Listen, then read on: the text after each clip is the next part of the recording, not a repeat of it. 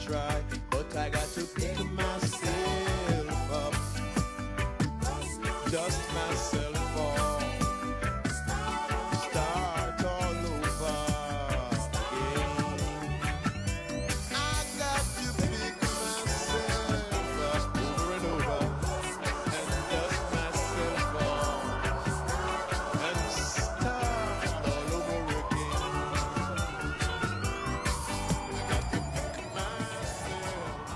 As Baltimore's race for the mayor heats up, former homicide lieutenant Al Giardello is scheduled for a press conference this morning at the Inner Harbor.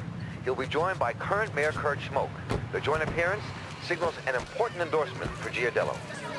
So, how does it feel to be the favorite going into the last week of the campaign? It ain't over till it's over. Well, the polls show you 12 points ahead of your opponent, Robert Gessner. The fat lady is already taking her curtain call, don't you think?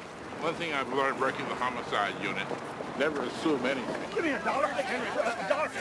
Grab it, guy. Give me the dollar. Your recent statement that if elected, you'd push to legalize drugs. Do you think this is the issue that has set your campaign apart from your rivals? Look, substance abuse is a health issue. I know what drugs have done to this city. Educate. Don't But listen. don't you think All right, that... that's all for now. Everybody just please step back, please.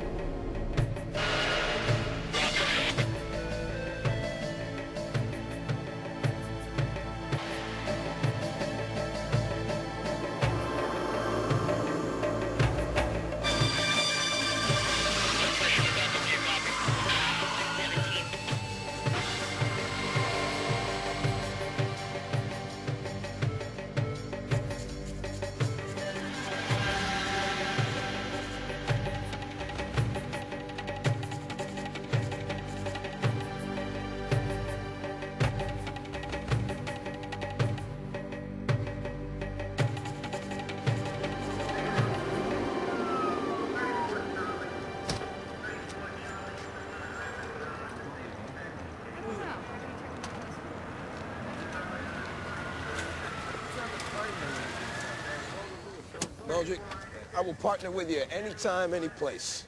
When it comes to a crime, but I'm not investing in your bar, no way. Come on, Falsone. You can see for yourself that the waterfront is a money-making proposition, man. It's a cash cow, a veritable green machine.